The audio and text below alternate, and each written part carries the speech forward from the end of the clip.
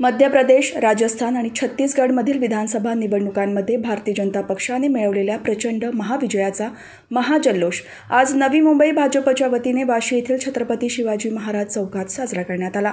नवी मुंबई भाजप जिल्हाध्यक्ष संदीप नाईक यांच्या नेतृत्वाखाली हा जल्लोष साजरा झाला.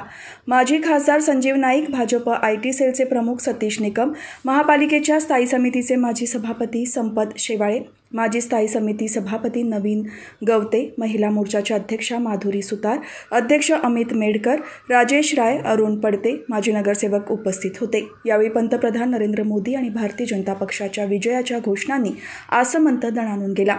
वंदे मातरम आणि भारत माता की जय तसेच जय श्रीरामच्या घोषणा दुमदुमल्या. मिठाई एकमेकांना वाटून विजयाचा आनंद गोड करण्यात आला. वाद्यांच्या तालावर ठेका धरत यावेळी कार्यकर्त्यांनी आपला आनंद व्यक्त केला.